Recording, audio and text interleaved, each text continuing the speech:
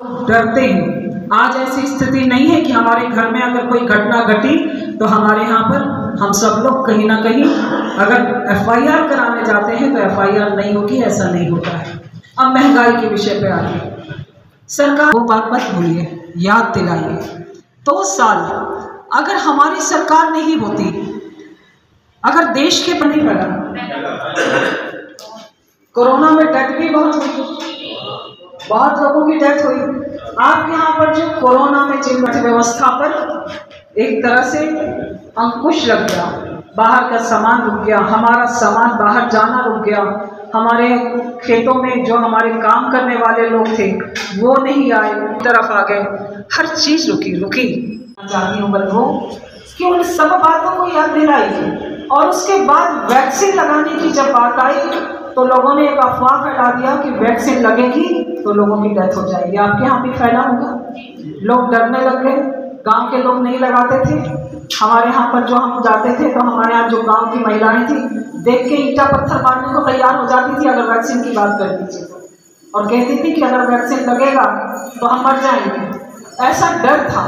लेकिन उसके बाद भी लोगों को समझाना, बिना पैसे के, एक वैक्सीन कम से कम कम पैसे में तो सात सौ रुपये में आती है। निःशुल्क लोगों को वैक्सीन लगवाना, यह हमारे प्रधानमंत्री जी ने किया है।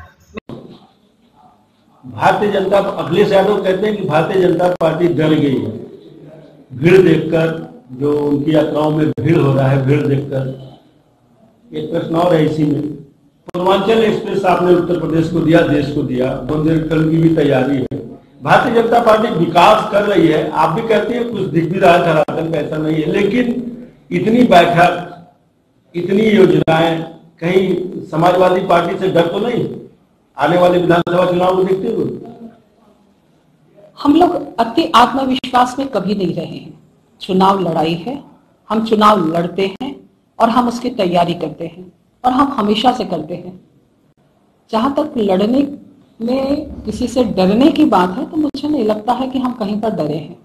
और डरने की बात तो वो लोग करते हैं जो इस प्रकार की भाषा बोलते हैं। उनके मन के जो भाव हैं, वो शब्दों में व्यक्त होते हैं। और डर किस बात का? किस व्यक्ति से? किस चीज़ से? उत्तर प्रदेश में डर हमने खत्म किया है।